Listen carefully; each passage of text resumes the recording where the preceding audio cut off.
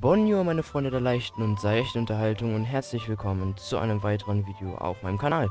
Leute, heute zeige ich euch, wie ihr drei coole Designs für eure Halloween-Welt machen könnt. Da hätten wir einmal diesen Kürbis mit seinem Mini-Kürbis, ein Grab, was auch im Dunkeln leuchtet. Was machen die Dorfbewohner hier, by the way?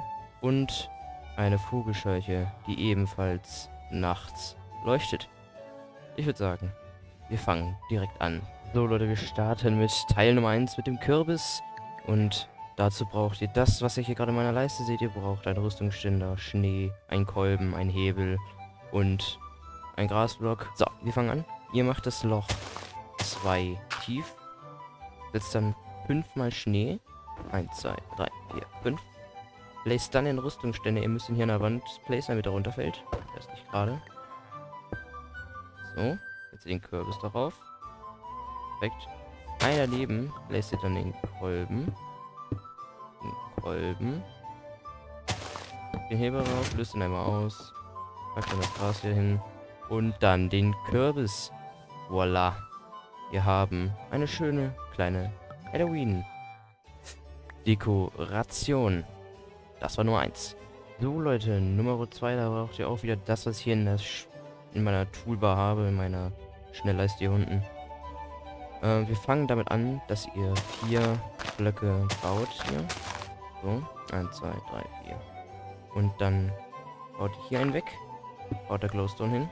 Macht das Wasser hier hin. Dann baut ihr Dirt hier hin. Packt das einmal schön, damit es auch schön aussieht. Packt dann Cobblestone einmal hier hin. Und dann hier hin. Dann könnt ihr das abbauen. Und das so bauen. Müsst ihr natürlich nicht so machen, könnt ihr auch andersrum machen. Dann packt ihr das Schild hier hin, schreiben wir Rest in Peace. Zack. Packen dann noch äh, Stevie Wonder hier drauf. Und dann können wir das Ganze auch noch ein bisschen mit Spinnweben verzieren. Müsst ihr natürlich nicht. Könnt ihr machen. Mit Bruchsteinmauer auch noch ein bisschen hier so ein bisschen schön machen. Zack. So, vielleicht dann hier nochmal ein paar Cobwebs drauf machen. Bisschen, I don't know, bisschen Kies hier überall hin. Und dann, bei Nacht, sieht das Ganze so aus. Das leuchtet von selbst. Da müsst ihr gar nicht machen. Das ist doch wunderbar. So ein schönes, leuchtendes Grab. Falls ihr euch fragt, warum das Wasser da unten dran ist, das ist, damit hier die Erde hier vorne schön so bleibt, wie es gerade ist damit das nicht wieder austreuen und zur hässlichen normalen Erde, Erde wird. Und ich würde sagen, wir springen direkt zum nächsten. So Leute, jetzt bauen wir euch die Vogelscheuche. Dazu müsst ihr wieder die Sachen nehmen, die ich hier gerade in der Schnellleiste habe. Das ist nicht im Inventar hier. Ihr braucht nur die Sachen aus der Schnellleiste. Dann baut ihr zwei Blöcke runter. Setzt den Glowstone. Setzt das braune Glas. Darauf die Falltür. Dann Müsst ihr es einmal so machen, weil der Rüstungsständer irgendwo auffallen muss. Zack. So, so. Jetzt dann die Hose, die Schuhe, die Hose, die Brust und den Kürbis oben drauf.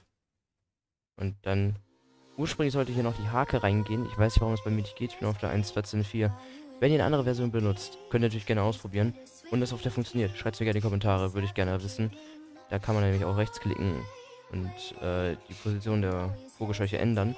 Aber wenn wir jetzt wieder in die Nacht gehen, dann seht ihr schon, das Ganze leuchtet wieder. Das ist genau wie beim Grab hier vorne. Ich habe das mal ein bisschen nebeneinander gebaut. Das sieht doch, das sieht doch schön aus. Leute, das waren meine drei Tipps für Halloween, für eure Minecraft-Welt. Wenn es euch gefallen hat, lasst doch gerne ein Like und ein Abo da. Und dann sehen wir uns beim nächsten Video wieder. Haut rein, Leute, und ciao.